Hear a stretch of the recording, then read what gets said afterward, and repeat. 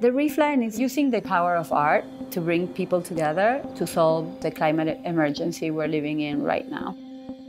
We can't wait for reefs to die to wonder where our fish are going to go. Coral reefs are like the cities of the ocean. They're thriving ecosystems that support biodiversity, and it's critical to make structure that mimics natural reefs to go beyond restoration and actually regenerate our ecosystems. The Reef Line is a series of underwater sculptures that are artificial reefs and perform as marine sanctuaries. I've always seen arts and culture as the allies of any interesting human movement. So the origin of the Reef Line is science, but we're using art to tell a more compelling story. Miami Beach in South Florida is totally man-made, dredged land. We stopped a lot of the watersheds, we smothered a lot of the reefs. So I think it's really important to build back and to allow nature to have a structure that it can thrive on. The great thing about this project is we're collaborating with a lot of different scientists and experts in oceanography, coastal engineering, as well as ecology and biology to really contribute to a more scientifically sound site. It's really hard to get an artificial reef permitted.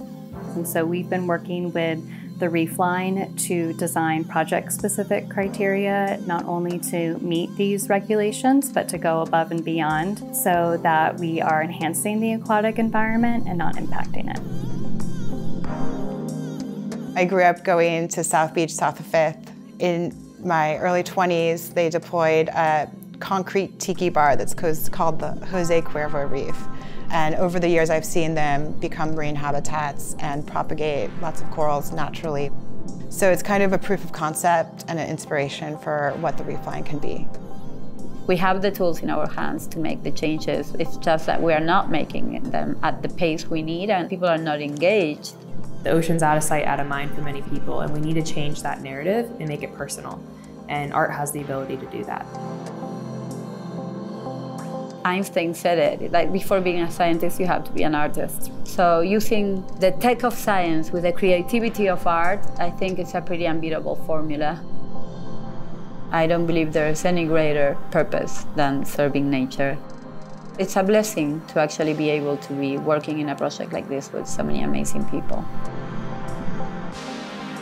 This is a place so dear to my heart, and really it's the canary in the coal mine of climate change. And I would like to be part of the solution of how Miami Beach can stay here a bit longer because I love it.